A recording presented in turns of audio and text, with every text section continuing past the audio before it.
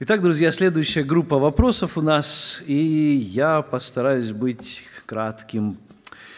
А, вопрос такой. Матфея, 11 глава. Почему Бог не явил сил, как в Капернауме? Также Бог не желал их спасения или что? Ну, смотрите, здесь я зачитаю этот стих Писания, о котором говорится – Горе тебе, Харазин, горе тебе, Вифсаида, если бы в Тире и Сидоне явлены были силы, явленные в вас, то давно бы они во вретище и пепле покаялись. Но говорю Тиру и Сидону, отраднее будет в день суда, нежели вам. И ты, Капернаум, до неба, до неба вознесешься, до, до неба вознесшийся, до ада не, звергший, не извергнешься, если бы в Сидоне, в Содоме явлены были силы, явленные в тебе, то он оставался бы до сего дня». Вопрос такой, неужели Господь не хотел спасения Содома, почему Он не явил ему эти же силы?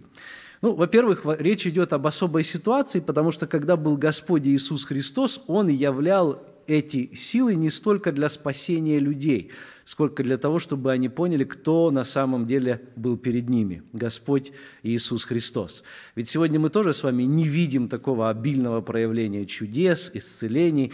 Господь во плоти не ходит по этой земле, но это не дает нам права не каяться. Мы же не говорим, Господь, мы теперь не спасемся. Словом, мы не знаем, почему Он именно не явил вот эти силы, но мы знаем, что Господь справедлив. Мы также знаем, из Писания, что Он дает шанс, дает возможность услышать о себе каждому человеку. Как Он сделал это в случае с Содомом, мы, конечно, точно не знаем. Но кое-что можно предположить. Ну, например, хотя бы то, что в то время были такие свидетели, о которых упоминает Библия, и мы не знаем их происхождения. Тот же самый царь Салима, помните, как его звали? Кто помнит? Мелхиседек, да, которому сам Авраам выплатил десятину. Кто он, откуда он? А Салим – это там, где был тогдашний Иерусалим, Иевусейский город. Неужели он был из языческих народов, но тем не менее знал живого Бога? На все эти вопросы мы, наверное, только в вечности получим ответы. Но тем не менее, и Авраам, и Мелхиседек могли быть свидетелями перед тем же Содомом. И это только некоторые из фактов. А я думаю, общая картина будет ясна в вечности, и Господь, будучи справедливым Богом, каждому дает возможность покаяться. А здесь идет сравнение, что вы в Капернауме имели такой шанс, которого не было ни у кого другого. Вы видели самого Господа во плоти и, тем не менее, не покаялись.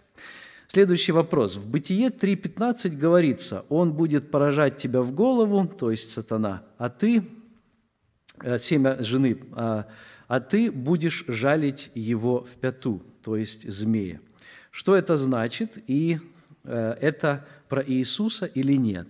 Действительно, здесь первое пророчество о пришествии Господа Иисуса Христа и о той великой битве, которая состоится в будущем между Господом с одной стороны и Антихристом с другой стороны. И в конце концов Христос победит.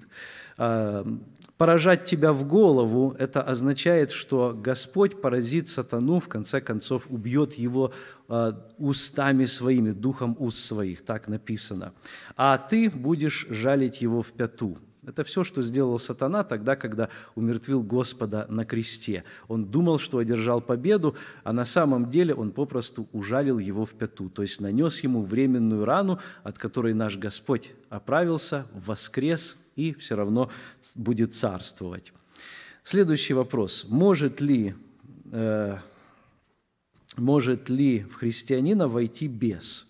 Вопрос интересный, но я скажу так – мы находим в Писании случаи, когда христиане подвергаются демоническому воздействию. Может быть, мы не найдем конкретного случая, чтобы вошел бес, но написано «не давайте место дьяволу», а также Анания и Сапфира являются примерами того, как они позволили сатане вложить в ум их или в их разум определенную мысль, так написано.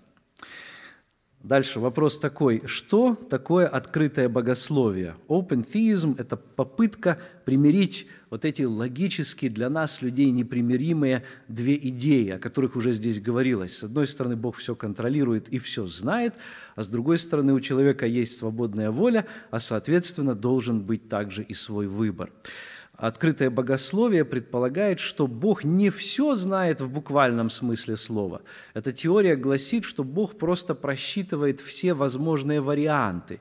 И Он знает все эти варианты, но Он в действительности не знает, какой из них случится – она представляет Бога наподобие такого вот отца, который держит свои руки над ребенком своим. Знаете, вот ребеночек только начинает учиться ходить, и вот-вот он упадет. И отец не знает, ребенок устоит или не устоит, но он готов. Если ребенок устоит, хорошо.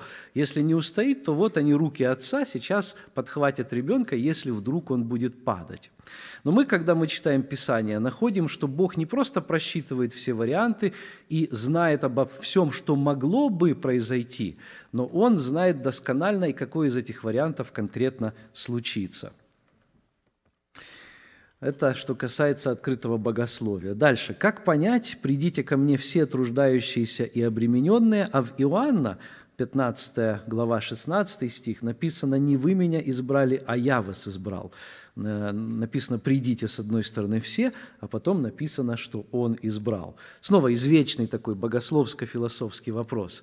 Мы не знаем полностью ответа на него, но в нашем разуме, потому что мы человеческие создания ограничены, есть в этом в этом есть противоречие. В Божьем разуме, который находится над временем, который пребывает в вечности, разум его неисследим, мысли его познать мы не можем, у него противоречия здесь никакого нет. Откуда мы знаем? Потому что и ту, и другую истину утверждает Священное Писание.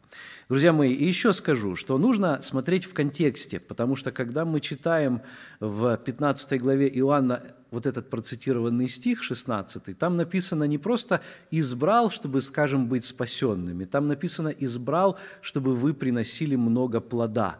Вот для этого избирает нас Господь. Следующий стих – это следующий вопрос. Если мы даже не можем пророчествовать или бесов изгонять, Тогда где же мы находимся, если такие чудеса во имя Господа мы не можем делать? Вопрос основан на Евангелии от Матфея, 7 глава, стихи 22 и 23. Ну, давайте мы прочтем, чтобы мы знали этот контекст. 7 глава, и 22 и 23 стихи. Господь говорит, что в тот день, в день суда, многие скажут мне в тот день, «Господи, Господи, не от Твоего ли имени мы пророчествовали, и не Твоим ли именем бесов изгоняли, и не Твоим ли именем многие чудеса творили?»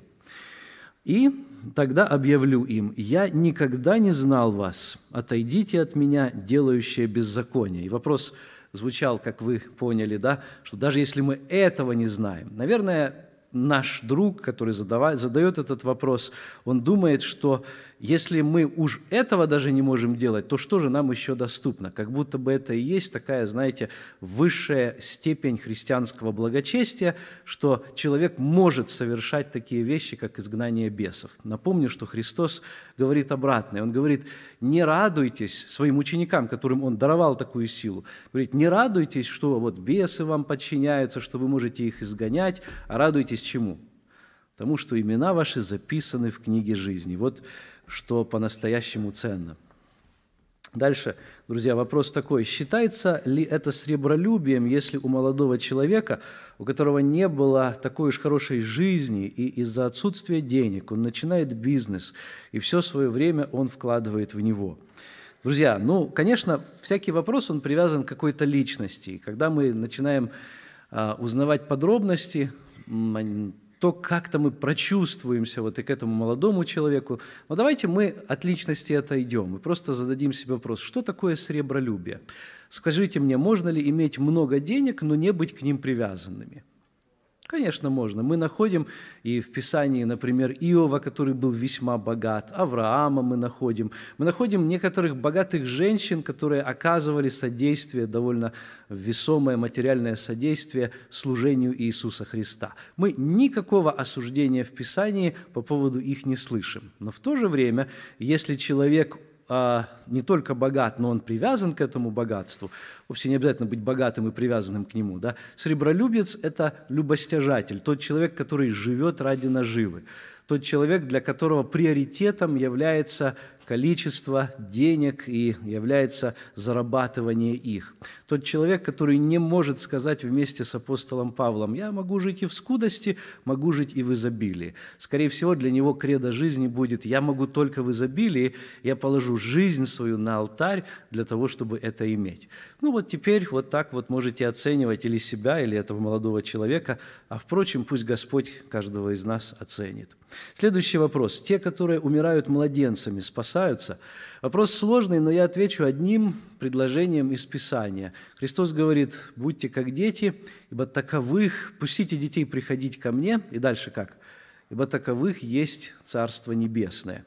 И я думаю, что Христос имеет в виду буквально, что они, дети, входят в Царство Небесное. Почему, вы скажете?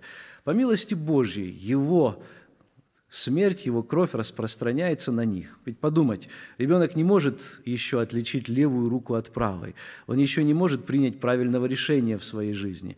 Поэтому тогда, когда ребенок умирает, он попадает в то место, в котором находится Господь.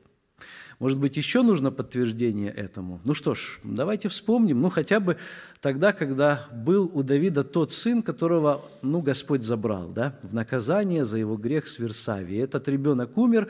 Вы помните, когда Давид поднялся с этого поста, в котором он был в этом состоянии, он поднимается, и он говорит, ну что мне теперь уже горевать? Его слуги говорили, почему ты перестал горевать, почему ты теперь кушаешь и так далее. И вот Давид говорит, а что мне еще остается делать? Я уже ничем не могу помочь, я никак не могу изменить эту ситуацию, я его не верну назад, но я могу к нему что? Пойти, то есть я присоединюсь к нему там. И я не думаю, что Давид имел в виду, что я, как и он, попаду в ад. Я думаю, что он имел в виду, я буду там, в том месте, которое называется Лона Авраамова. Следующий вопрос. Сколько лет земле? Я не знаю. Дальше отвечать. Есть люди, которые пытались э, собрать всю информацию, которая есть в Писании, и вы знаете, что в еврейском календаре сегодня вот наступил, или вернее в этом году наступил уже там 7500 какой-то год, и как говорят евреи, от а, от, от создания мира. Есть другие системы исчисления, например, был такой епископ Ашер, у которого немножко другая цифра вот, получилась. Я думаю, что Земле от 6 до 10 тысяч лет. Почему я беру примерно эту цифру? Потому что если мы сравниваем родословие, а именно их мы, воспринимающие Писание буквально, принимаем за основу, и вот потом мы прибавляем, сколько в них лет. Но дело в том, что когда мы их сравниваем, мы можем обнаружить, что в некоторых родословиях есть пробелы или пропуски, потому что в еврейском языке слово «отец» может означать и отца, и дедушку, и даже просто э, предка. Если это так, то некоторые поколения могут быть пропущены, и на них можно сделать небольшую поправку. Это интересная тема, но она довольно обширна, мы вряд ли сейчас ее с вами покроем и не будем, так сказать, вдаваться в эту дискуссию. Is it okay to buy and use paintball, BB, and uh, airsoft and so forth? Ну, вы хотите разрешение от нас получить, чтобы это использовать? Я думаю, лучше поговорите с вашими родителями об этом. В эту же область идет вопрос, можно ли играть в УНО. Писание говорит о том, что тогда, когда мы становимся христианами, у нас нет уже вот этих категорий «можно» и «нельзя». Все мне позволительно, говорит апостол, только не спешите, не надо выбегать отсюда и сразу говорить, что оказывается все мне можно. Дальше говорится, не все полезно, не все назидает, это является нашими фильтрами. Давайте мы зададим себе эти вопросы. Прославляет ли это Господа, назидает ли это, приносит ли это пользу мне и окружающим. Например, те же УНО ну, вроде бы ничего плохого нету, это просто игра, и причем там разные есть игры с разными значениями, есть даже так называемые христианские уно. Ну, вот представьте, вас увидели более старшие братья и сестры, играющими в эту игру. Что она им напомнит? Игру в карты, правда? И вряд ли вы сможете им это объяснить. Может быть, они даже вам не зададут этого вопроса. В Библии написано «удаляйтесь от всякого рода зла». Every appearance of evil. То есть даже если оно выглядит вот как какие-то карты там игральные, лучше быть подальше от этого, просто чтобы не быть соблазном. Это же касается и вот этих других вопросов мне тяжело было ответить на вопрос, почему мы не должны соблюдать субботу в Новом Завете. Как э, толкуется эта заповедь? Все заповеди, которые мы находим, 10 заповедей, мы верим, что они обязательны для нашего выполнения, потому что они подтверждены нашим Господом Иисусом Христом. Все, кроме четвертой, потому что хотя сам Господь Иисус Христос, подчинившись закону, соблюдал также и субботу, мы находим, что первая церковь собиралась уже в первый день недели. Мы находим, что она это делала потому, что Господь воскрес в этот день, Он вознесся в этот день, День Пятидесятницы совершился также в этот день. И, наконец, сам Иоанн был в духе в этот день, в день Господень, тогда, когда он получил откровение. Поэтому суббота, она является частью церемониального закона, который Христос исполнил. Кстати, Он исполнил его как раз теми словами, от которых мы размышляем на этой конференции. «Придите ко мне, все труждающиеся обремененные, и я что?» Успокою вас. Я дал вам покой, то есть истинную настоящую субботу. Суббота была предзнаменованием того покоя, который дает Христос. И каждый верующий соблюдает субботу, потому что он находится в Божьем покое. Только у евреев это был каждая суббота, да? а у нас это теперь каждый день, если мы действительно приняли Христа в свое сердце. Если у тебя нет возрождения в душе, но есть покаяние, грех ли это быть в отношениях с, брать, с братом или сестрой, членом церкви? Мне не совсем понятен этот вопрос, ведь если у тебя есть покаяние, то тогда будет и возрождение. Э, эти два явления, они не видны для нас, хотя, может, вот о покаянии мы можем судить по внешним признакам, по сокрушению в грехах, по, может быть, слезам, у кого-то они есть, у кого-то их может не быть. А покаяние – это поворот от старой жизни, это сожаление в своих грехах, это избрание новой жизни во Христе, а возрождение – это когда наш мертвый по грехам и преступлениям дух получает новую жизнь, и Дух Святой в нас вселяется. Эти две вещи, их очень трудно разделить, и фактически это, это части одного целого. Поэтому, во-первых, конечно, определитесь, есть ли у вас возрождение, если приняли, действительно ли вы покаялись в ваших грехах. А что касается отношений, а какие имеются в виду отношения? Ведь сегодня это слово понимается по-разному, особенно английское слово relationships. Многие люди в мире понимают это слово уже, как говорится, на последней стадии. Если вы имеете в виду просто, что вы договариваетесь о браке, то я полагаю, что лучше все-таки добиться или достичь того, чтобы стать членом церкви, а потом решать уже эти вопросы. Тогда вы будете в равном положении, и тогда вы заявите о том, что вы вначале решаете вопросы с Богом, посвящаете себя Ему, решаете самый главный вопрос в своей жизни правильно, а потом переходите уже ко второму по значимости вопросу вашей жизни. If we age because we are sinners, then how come Jesus aged as well? Если мы с вами а, приходим в возраст, стареем, иными словами, если наше тело стареет из-за того, что мы грешники, почему же Христос тоже через это прошел? Дело в том, что старение не является последствием какого-то отдельного греха. Так и Христос, Он не был грешником, но тем не менее Он испытывал на себе последствия греховности в целом, потому что о Нем написано, что Он был муж скорбей и изведавший болезни. Но ведь Почему он должен болеть, если он не грешник, да? Так и мы с вами не всегда болеем в конкретное наказание за какой-то грех. И стареем мы не потому, что вот, вот кто, кто здесь постарше, неужели они согрешили больше?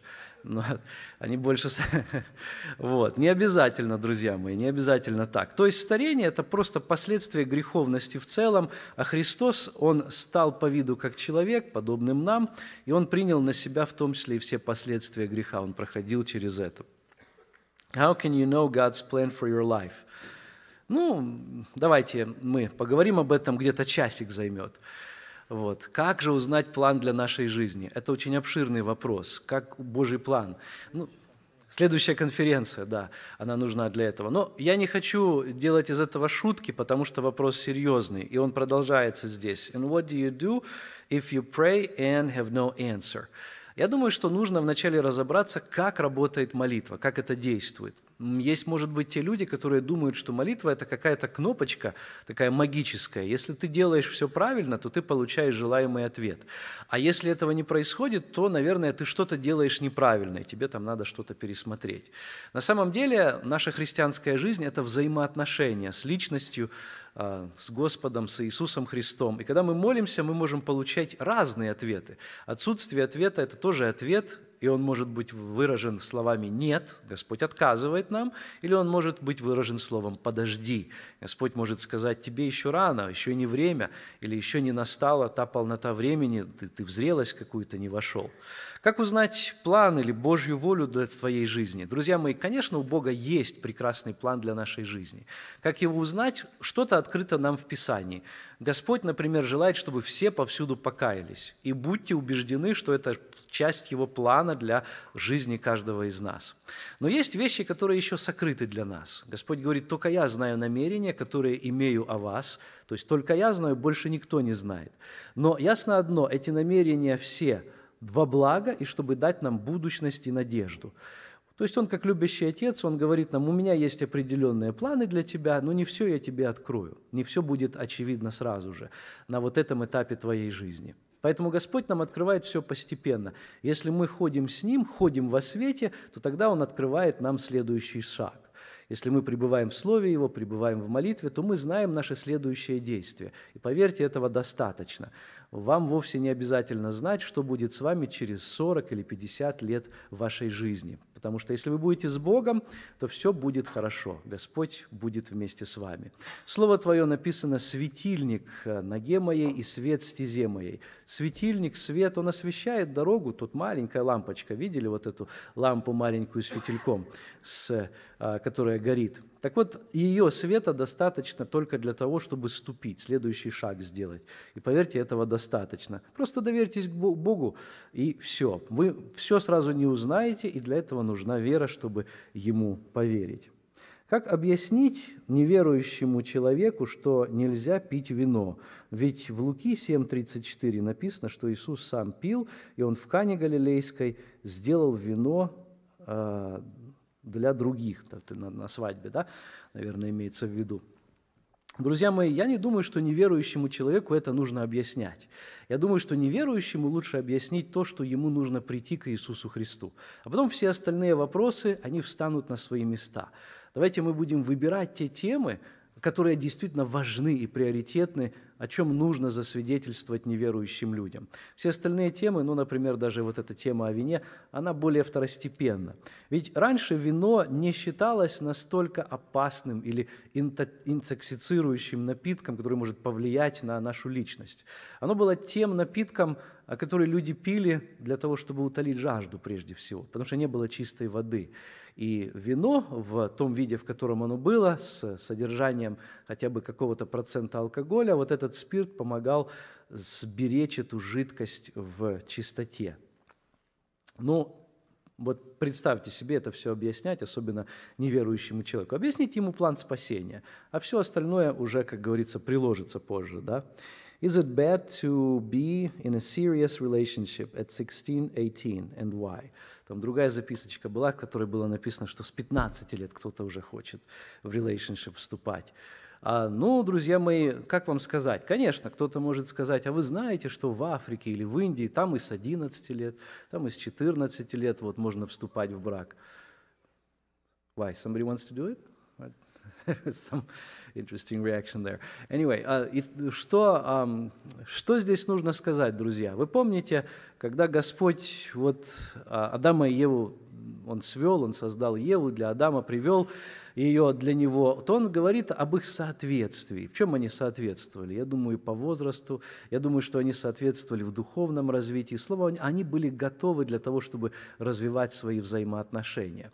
Ведь э, муж должен быть главой семьи, он должен вести семью в вечность, он должен представить свою жену непорочной перед Господом. Да? Это большая ответственность. Помните, вот Христос и Церковь – это образ того, что должно также происходить в семье. Если взять вот обратно, да? Тайна сия велика.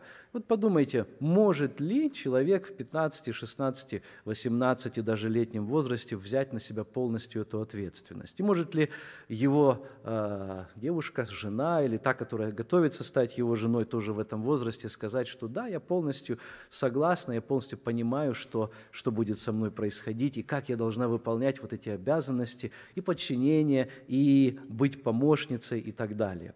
Я думаю, что вряд ли кто-то положа руку на сердце, даст этот честный ответ «нет». А ведь не только в духовной области, нужно и в физической области быть готовым. А как раз в это время, это окончание подросткового возраста, наше тело еще не готово. Я не буду вдаваться в подробности, но еще происходит формирование тела. И это глубинные процессы, заложенные Творцом для того, чтобы мы были подготовлены к взрослой жизни. И, наконец, даже такой вопрос, как финансовый. Если человек не способен еще а, к тому, чтобы содержать семью, а вряд ли кто-то к этому времени уже способен, то, конечно, лучше не вступать в такие взаимоотношения, а ожидать, ожидать того, когда, а, сам будешь готов, и, б, ты, действительно Господь тебе подарит того партнера жизни в ответ на твои молитвы. Как рассказать будущему мужу, что у меня темное прошлое, и что у меня бывший, с которым я э, была нечиста перед покаянием? Я очень сожалею за тебя, дорогая душа, и, конечно, это будет очень сложно, но рано или поздно тебе придется иметь этот очень трудный разговор, потому что скрывать ты все равно не сможешь. Кстати, это касается не только сестер, но и братьев. Это означает, что хотя Господь прощает наш грех, и половой грех в том числе, но, тем не менее, последствия остаются. И это означает, что кому-то нам в чем-то надо будет признаться. В данном случае тому человеку, которого Господь нам посылает. Это сложно, и мы можем бояться этого, но лучше решиться на этот разговор, помолившись и выбрав правильные слова, и так и рассказать, как, в общем-то, и было. Если Господь предназначил вам этого человека, то я думаю, что Он поймет, что Он простит. Дальше, следующий вопрос. Объясните, пожалуйста, стих Бытие 3.16, вторую половину. «И к мужу твоему влечение твое». А, означает ли это влечение господствовать над мужем? Спасибо. Я думаю, что нет. Это означает именно то, что написано, что тогда, когда Господь проклинает человека за то, что он ослушался его, то Адаму даются одни проклятия, и в том числе труд. Вот труд и болезнь, лучшая пора да, будет твоя, ты будешь в поте лица добывать, труд перестанет быть радостью, иными словами. И вот здесь тоже в семейных отношениях наступит то, чего не должно быть. И мы видим, что сегодня во многих семьях есть разлад. В частности, то, о чем здесь говорится – это то, что у жены, ну, скажем так, будет сохраняться влечение на половом уровне. Это вот, вот, вот эти именно слова, я так их понимаю в буквальном смысле. И даже иногда это будет к человеку, который господствует над ней, по-настоящему ее не любя. Да? Мы видим, многие браки такие в мире существуют. На них смотришь и думаешь, почему, что склеивает этот брак кроме вот этого, может быть, влечения. Хотя оно ведь обоюдное там, не так ли? Следующий вопрос. Можно ли христианам слушать радио, слушать radio music, songs, неверующие песни, но верующая молодежь их также наизусть может петь. Джастин Бибер, Тейлор Свифт, и так далее. Ну, здесь, наверное, имеется в виду, что ну, другие же их наизусть знают, даже мои там друзья или подружки, а почему мне нельзя, в чем проблема? Друзья, всегда нашим э, вот эталоном должно быть священное Писание. Помните, когда вы имеете отношения с Богом, это вы и Бог, больше никого нет вокруг. Поэтому вам Ему давать отчет. И вам там не придется говорить о том, что, а ты знаешь, Господь, я это слушал, потому что все делали вокруг меня это. Подумайте, можете ли вы, ну, например, даже исполнить такой стих, как филиппийцам 4 глава, там, скажем, 8 стих, о том, что только, и там целый перечень вот этого фильтра, о том, что только истина, о том, что только вот добродетели похвала, что только любезно, что только достославно. И вот все эти характеристики о том помышляйте. Возьмите эту музыку и подумайте, когда она входит в ваше сердце, когда вы еще и запоминаете слова, действительно она ли побуждает вас к этим мыслям. Если нет, фильтруйте ее, убирайте ее из вашей жизни. Она вам совершенно не нужна. Я уже не говорю о том, чтобы просто оценить содержание lyrics некоторых из песен. Следующий вопрос. Вопрос по тексту из Евреям 6.2. Здесь написано о том, что э, есть крещения, различные учения о крещении. Могли ли вы прокомментировать, что означают эти учения о крещениях, которые тоже э, находятся здесь, и они здесь во множественном числе, и они являются начатками учения. Да? Я не буду зачитывать этот стих, если вы помните, там так и написано. Стоит ли нам опять вот говорить о начатках учения, Э, в частности, о крещениях. И автор этого вопроса, видимо, говорит о том, почему здесь во множественном числе. Потому что действительно есть много крещений, ну, немного, пусть будет несколько, о которых говорит Писание. «Крещением надлежит мне креститься», говорит Христос, упоминая свои страдания. Крещение Моисеева, помните, было такое, когда в облаке они проходили, вот через облако, вернее, это было в Ветхом Завете, тоже названо крещением, потому что они вот окунались, погружались вот, вот в это облако и проходили, израильтяне. Дальше, а, крещение водное, которым мы мы знаем с вами, которое мы принимаем для того, чтобы отождествиться со Христом, войти в церковь. Крещение Духом Святым – это всего четыре. И если вы будете исследовать Писание, вы еще на, насчитаете. Вот оно и есть это учение о крещениях. Поэтому оно не одно, а оно во множественном числе.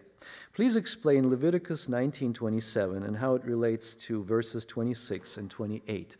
Тут есть подобный вопрос, тоже из 19 главы Левит.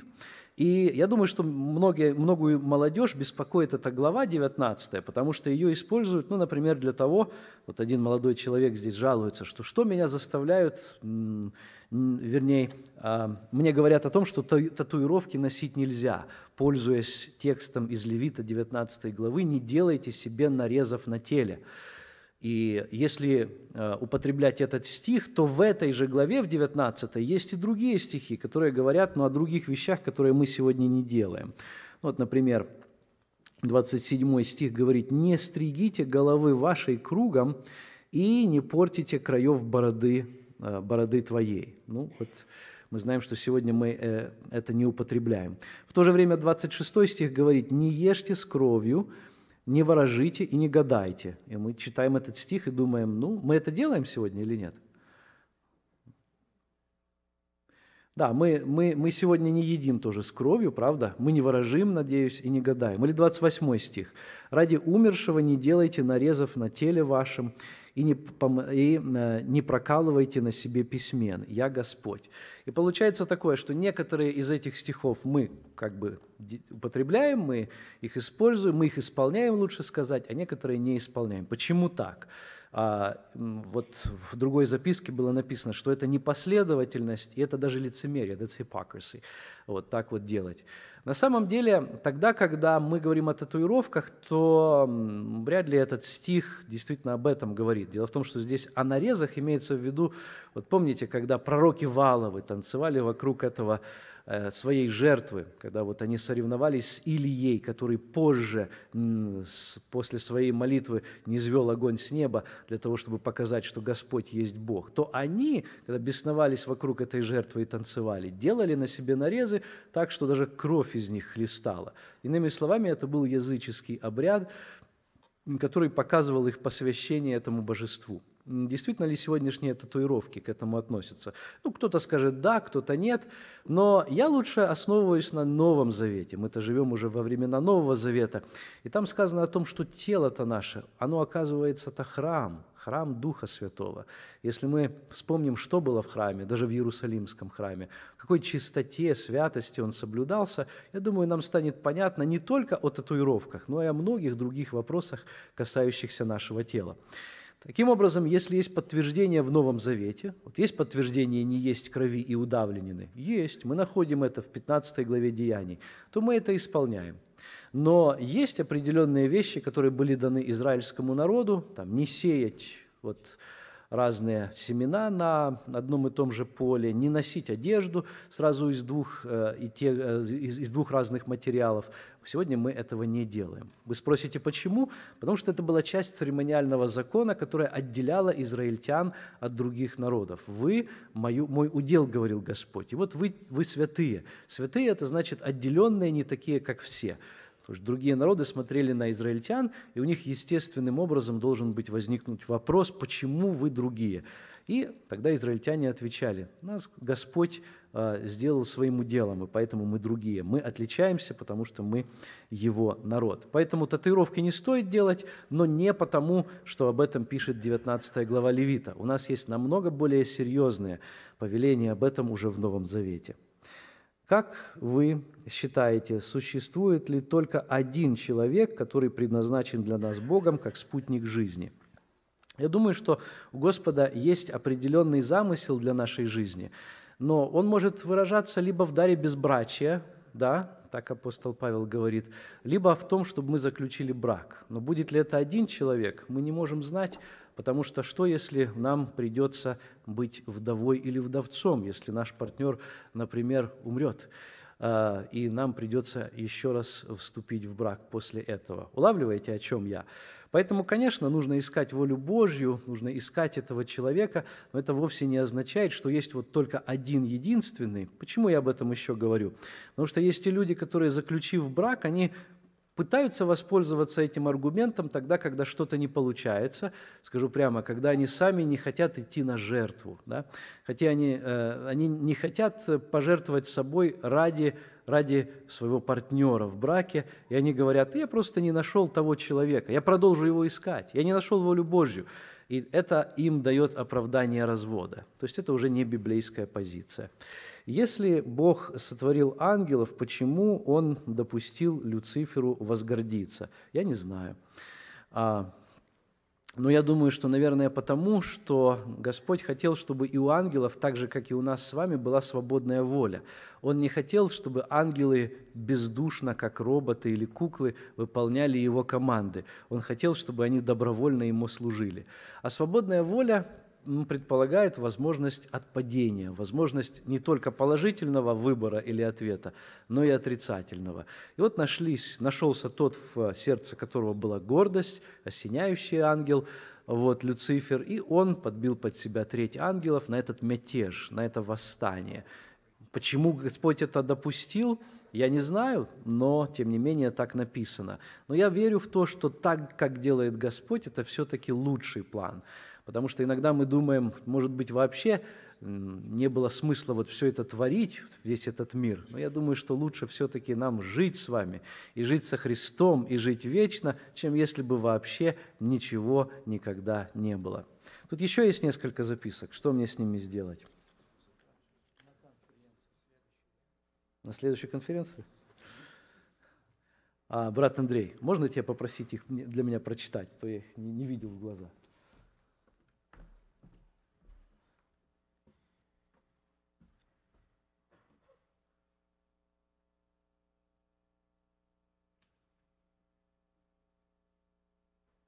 Эту можно не читать. Если кто-то считает, что у него невеста а, big mistake, и он хочет избавиться от нее, подойдите, мы вам с вами побеседуем. Возможно ли то, что милость Господа закончилась для человека, который постоянно грешит и потом кается? Если Бог знал с самого начала все, что произойдет в моей жизни, почему Он не мог поменять как-то план моей жизни. Ну хорошо, опять вот И эти еще вопросы, одна такая да. записка. My brother has a problem with the road rage. Please say how, how he can fix it. I think that's to repent, come to Jesus. Знаете, у нас недавно в нашем штате произошел ужасный случай. А, смотрим, ну, я приехал домой, смотрю, перекрыта основная трасса, и вот из нашего окна это все видно. Я стал читать в новостях, что произошло. Тоже road rage был, и а, дошло до того, что одна девушка, ей 23 года, она вышла, и у нее был словесный аргумент, verbal argument, словесный спор с мужчиной, которому было уже за 60 лет. Она была на мотоцикле, он был в машине, они даже вышли из своих транспортных средств, и между ними произошла физическое соприкосновение, драка. У нее был при себе пистолет, и она выстрелила, попала в него и насмерть, то есть она его убила. Она же сама и вызвала полицию, ну, видимо, потому что она поняла, что она сделала, или, по крайней мере, начинала осознавать. Поэтому, друзья мои, тогда, когда мы позволяем нашим эмоциям бурлить, это может привести к очень страшным последствиям. Будем действительно приходить к Господу, чтобы Он помогал нам от этого избавляться. Итак, возможно ли, чтобы милость Господа э, закончилась для человека, который постоянно грешит и потом кается? Это пока мы с вами живы еще, пока мы еще с вами видим свет, пока еще Господь не пришел, пока еще время Его благодати не остановилось, это значит, что милость Его на нас. Но вы знаете, я встречался с теми людьми, которые знают о том, что нужно покаяться, но уже не способны каяться. Поэтому, пожалуйста, будьте осторожны с этим. Не думайте, а, особенно если вы в роли этого человека, что я покаюсь как-нибудь потом. В конце концов, милость Божья все покроет. Не играйтесь с этим. В то же время я понимаю переживания тех, которые, может быть, уже неоднократно каялись, то знайте, что всякий раз, когда вы падаете, сколько бы раз не было, помните, как Христос говорил о том, что сколько прощать, вот помните, Петр говорит, до семижды ли раз, и Господь говорит, до семидесяти по семь, то есть до фактически бесконечного количества раз. Милость Божья велика, просто его долготерпение может остановиться. Поэтому будем вот с этим осторожны. И если вот Бог узнал с самого начала что, э, все, что произойдет в моей жизни, почему же Он не мог поменять э, что-то в моей жизни? Но это тоже вопрос сослагательного такого наклонения. На самом деле вопрос больше не к Богу, вопрос, наверное, здесь к себе. А что я могу поменять в своей жизни? И способен ли я с Божьей помощью что-то поменять? Ведь Господь, когда дает нам жизнь, Он дает нам возможности много поменять в своей жизни. Поменять, например, своих друзей, можно поменять свой круг общения, можно поменять, может быть, место жительства, хотя молодым людям это бывает сложно, правда? А можно поменять свое внутреннее отношение. Можно, Библия об этом много говорит. Направить можно свое сердце на что-то. И поверьте мне, обстоятельства в жизни, тогда, когда мы это все поменяем, станут уже на втором месте. Человек может находиться в тюрьме, как апостол Павел, в самых страшных обстоятельствах, но быть в духе вместе с Господом, прославлять Его в своем сердце, петь Ему даже. Помните, как Павел и Сила, которые находились в тюрьме. Пусть Бог всех вас обильно благословит.